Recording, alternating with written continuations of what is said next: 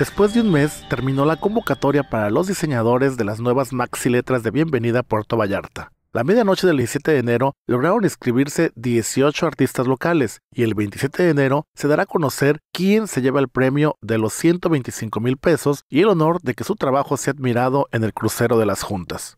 Arturo Dávila, subdirector del Instituto Vallartense de Cultura, dio a conocer el proceso de este concurso, al que convocó el gobierno municipal de Puerto Vallarta a través de este organismo, artistas de todas las disciplinas y especialidades a realizar la propuesta de intervención gráfica de las maxi letras de bienvenida, ubicadas donde inicia el Boulevard Francisco Medina Asensio. Y recibimos 18 eh, propuestas de la comunidad artística de Vallarta, sí. Eh, lo que continúa ahora hay un jurado, eh, previamente se les, convocó a estos, jurados, no se puede dar el nombre de los jurados hasta una vez eh, eh, elegido el ganador, digamos, esos son protocolos que se suelen utilizar en los concursos. Entonces lo que viene ahora es darles al jurado toda la, toda la información de las propuestas que recibimos.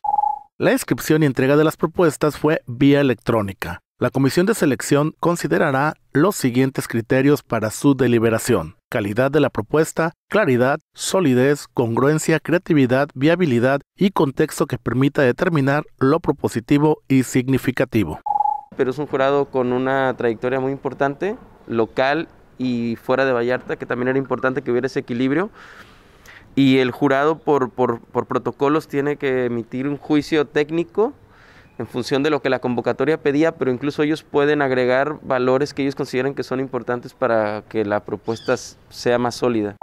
Las letras medirán 2.50 metros de alto y ya son elaboradas por el chino ballenas con fibra de vidrio con resina, colocando en cada una de las letras metal encapsulado por las cuatro caras y una capa de petamar para mayor resistencia. Los pintores, diseñadores y artistas, candidatos a ilustrar las 14 letras, presentaron su justificación, así como una propuesta gráfica de intervención escala y listado de materiales a utilizar, su cronograma de ejecución de obra, considerando como fecha límite para pintarlas el día sábado 20 de febrero de este año. Los ganadores, además del premio económico, tendrán el orgullo de ver plasmado su arte en tan icónico sitio y atractivo turístico. Con Ángel Martínez en la cámara, para CPS Noticias, Miguel González Guerra.